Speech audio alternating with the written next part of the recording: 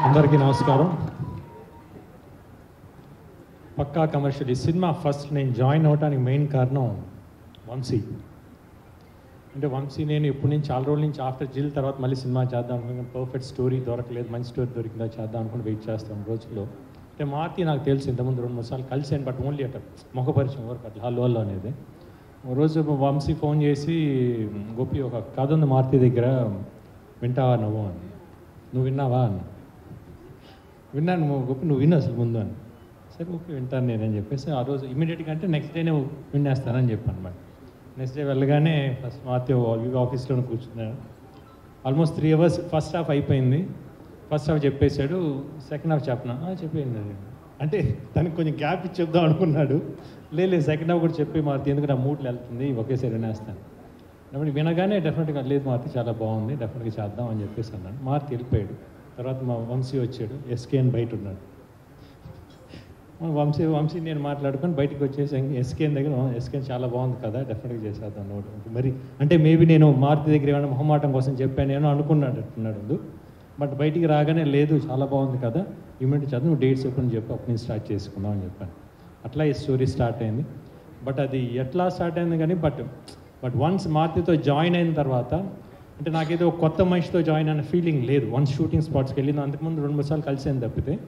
But one shootings join అయిన తర్వాత ఒక వేవ్ లింక్ చాలా బాగా సెట్ అయిపోయింది.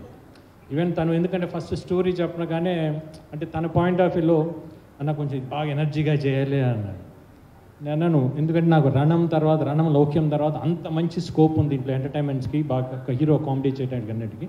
నేను ఒకటే మాట మార్తి నువ్వు రాసిన స్క్రిప్ట్లోనే ఉంది కామెడీ ఆటోమేటిక్గా వచ్చేస్తుంది.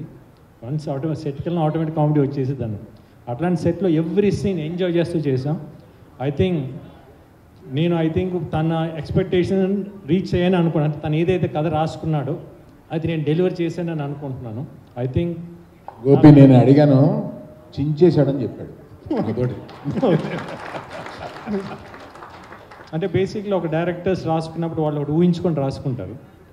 అది మనం డెలివరీ చేసామా లేదనేది మనకి చేసేటప్పుడు తెలియని ఒక భయం ఉంటూనే ఉంటుంది. వన్స్ ఆ సినిమా చూసి వచ్చేదాకా తను తన ఫీలింగ్ ఎలా ఉంది? తనకు మనం హండ్రెడ్ పర్సెంట్ ఇచ్చామా లేదా?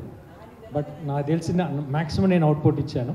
అట్ ది సేమ్ టైం ఇంకోటి క్యారెక్టర్ తను చెప్పినప్పుడు ఎంజాయ్ చేసిన క్యారెక్టర్ రాశి క్యారెక్టర్ చెప్పినప్పుడే ఎక్స్ట్రాడింగ్ ఎంజాయ్ ఈ క్యారెక్టర్ ఎవరు చేస్తున్నారని అంటే అప్పటికి ఇంకా హీరోయిన్ ఫిక్స్ అవ్వలేదు. వాళ్ళు వీళ్ళు అనుకుంటా ఉన్నారు అట్లా ఎట్లా అని. లాస్ట్కి రాసి వచ్చింది. నేను రాసి షీఈస్ వెరీ టాలెంటెడ్ కాకపోతే తన కరెక్ట్ అయిన క్యారెక్టర్స్ పడలా బట్ దీంట్లో పడింది మేము ఎక్స్ప్రె ఒక ఎక్స్ప్రెషన్తోనే చేసింది కదా ఇంకా చాలా ఉన్నాయి సీన్స్ అన్నీ చాలా బాగా చేసింది. సేమ్ రావు రమేష్ గారు వీళ్ళందరూ చాలా బాగా చేసి మిగతా క్యారెక్టర్స్ అందరూ. ప్లస్ అరవింద్ గారితో నేను ఎప్పటి నుంచో అంటే ఫస్ట్ జాయిన్ అప్పటి నుంచి రెండు మూడు సార్లు కలిసినప్పుడల్లా అంటే రెండు మూడు సార్లు అడుగుతూ ఉండేవాడిని ఎప్పుడైనా ఫంక్షన్లో కలిసినప్పుడు సార్. ఎందుకంటే is very experience vast experience ఇండస్ట్రీలో చాలా నాలెడ్జ్ ఉంది. ఏమైనా టిప్స్ తీసుకుందా అని ఒకటి రెండు మూడు సార్లు కూడా అడిగాను. లేదమ్మా ఒకసారి ఒక ఫంక్షన్లో కలిసాను సార్ లాంగ్ బ్యాక్ అది. లేదమ్మా నువ్వు నువ్వు నీ కంటిన్యూ అవే అని చెప్పేసి అట్లా అంటాను. బట్ ఎప్పుడైతే ఈ సినిమా ఒప్పుకున్న తర్వాత ఒకరోజు ఆయన కాల్ చేసినప్పుడు నేను మాట్లాడాను అనమాట సార్ నాకు ఆల్మోస్ట్ ఇన్నేళ్ళు పట్టింది మీ బ్యానర్లో సినిమా చేయడానికి I'm very happy to do with you sir అని చెప్పేసి అని. Thank you sir at same time Vasu తన గురించి చాలా విన్నాను. అంటే చాలా తక్కువ కలిసింది తన. పేరు వింటాను ఒకటి రెండు సార్లు కలిసింది తప్పితే. బట్ తన సినిమాకున్న కమిట్మెంట్ కానివ్వండి తను ఎంత హార్డ్ వర్క్ చేస్తాడో ఒక ప్రాజెక్ట్ తీసుకున్నప్పుడు లాస్ట్ రిలీజ్ దాకా అంటే కథ దగ్గర నుంచి ప్రమోషన్స్ దగ్గర నుంచి everything I'll take our very well అంటే తన చేతిలో ఒక సినిమా పడితే డెఫినెట్గా మంచి తీసుకెళ్తాడు బాగా పర్ఫెక్ట్గా తీసుకెళ్తాడు. అంటే ఆ మాటలు వింటూ ఉన్నాను. ఇట్లాంటి టీం అంతా కుదిరినప్పుడు ఆల్మోస్ట్ నాకు ఏంటంటే ఒక ఫిఫ్టీ పర్సెంట్ సక్సెస్ వచ్చేసినట్టు అన్న ఫీలింగ్లో ఒక కాన్ఫిడెన్స్ సెట్స్కి వెళ్ళాను. They also delivered very well అంటే ఎవ్రీథింగ్ అంటే మొత్తం మారుతి మేము అంటే ఒక నమ్మకం ఉంటే ఒక మనిషి మీద ఎట్లా ఉండేది అనేది ఈ సినిమా నాకు తెలిసింది.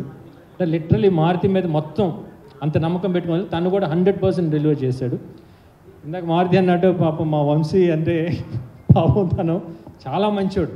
అంటే we know almost one past fifteen years నుంచి తెలుసు. బట్ ఎంత మంచోడు వీళ్ళందరూ అంటే ఒక ఒక పాజిటివ్ పీపుల్ కలిసి సినిమా చేస్తున్నప్పుడు డెఫినెట్గా దాని రిజల్ట్ కూడా పాజిటివ్గా ఉండిద్దని నేను నమ్ముతాను. డెఫినెట్గా రి- ఈ సినిమా కూడా రిజల్ట్ అలా ఉండిద్దని మనస్ఫూర్తిగా కోరుకుంటున్నాను. By God's grace it should us hundred percent success ఏదైతే ఈ టైటిల్ పెట్టారో పక్కా కమర్షియల్ అనేది it's a perfect app commercial movie thank you so much super date July first పెట్టిందంతా ఎందుకంటే బాబు జూలై ఫస్ట్ అని మేము మనసులోకి వెళ్ళడానికి జనం. జనానికి చెప్పడం కోసం పెట్టాము. జూలై ఫస్ట్ వస్తుంది. నేను ఫస్ట్ ఒక రెండు మూడు డేట్లు బికాస్ ఆఫ్ కోవిడ్ వల్ల పోస్ట్పోన్ అవుతుంది. జూలై ఫస్ట్ రిలీజ్ చేస్తున్నాం. తప్పకుండా అందరూ పక్కా కమర్షియల్ థియేటర్లో చూడండి. డెఫినెట్గా చాలా బాగా ఎంజాయ్ చేస్తారు. ఒక కామెడీ కానివ్వండి యాక్షన్ కానివ్వండి అన్ని ఎమోషన్ అన్ని చాలా బాగుంటాయి. Please gonna watch in the theaters only July first onwards thank you sir ఇప్పుడు before we wrap it up Aravind గారిని కూడా అడిగాక మిమ్మల్ని అడగకపోతే బాగోదు కాబట్టి commercial person I'm the most commercial person wow పసక్ is the only person accepted ఓ వాసు కూడా అన్నావు కదా most commercial person, commercial of the ఈ సొసైటీలో ఉండడం at the same time my thinking also in story wise కమర్షియల్గానే ఉంటుంది. నేను మామూలుగా ఉన్నాను కమర్షియల్గా ఉంటేనే నేను చేస్తాను సినిమా లేకపోతే చేయండి. ఎస్ సో ఇక on that statement let's wrap this wonderful event Pakka commercial event July first నా థియేటర్స్లో వస్తుంది. Mark the day